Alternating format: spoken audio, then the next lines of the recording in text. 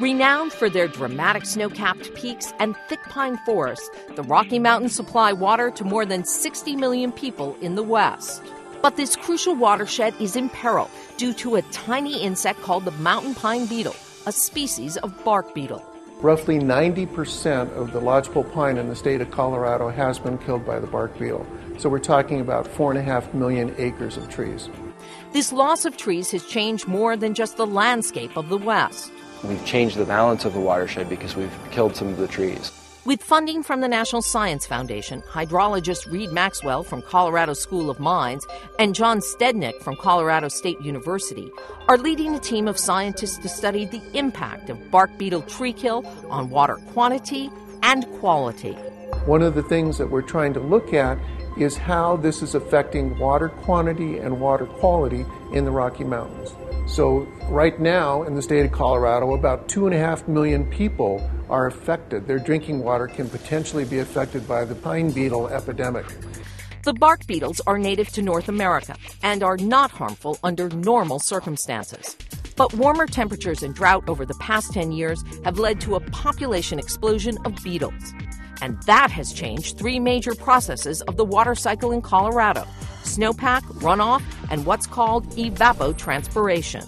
Evapotranspiration is a combination of evaporation and transpiration. That is interrupted with with beetle killed trees.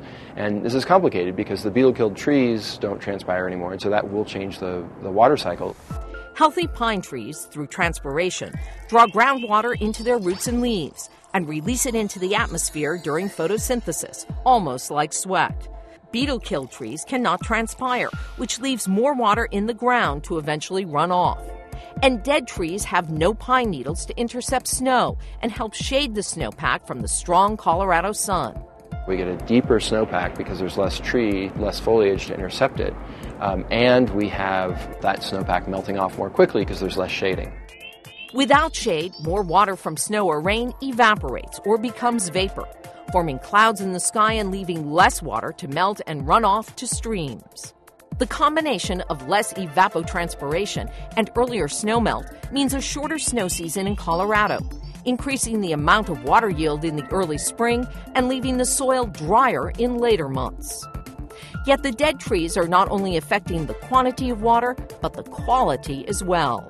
The dead trees, the dead forests, they basically will release and have needle fall over a period of time. Those needles on the forest floor will start to decompose. Decomposing pine needles mix with runoff to form a smelly, bad tasting pine tree tea.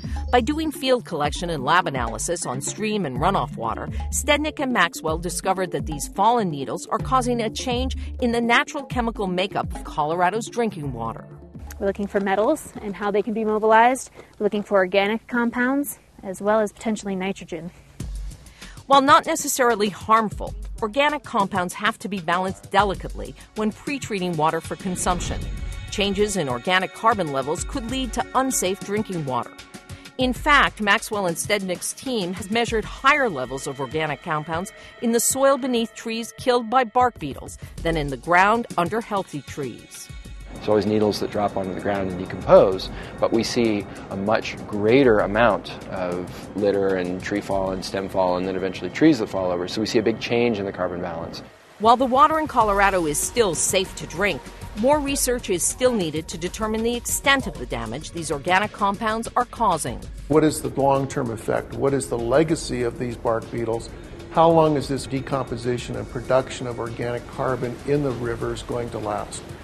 Earlier runoff and snowmelt periods, combined with less evapotranspiration and pine tree tea, are likely to be part of the challenge of sustainable water in Colorado for several years, all because of a tiny bug.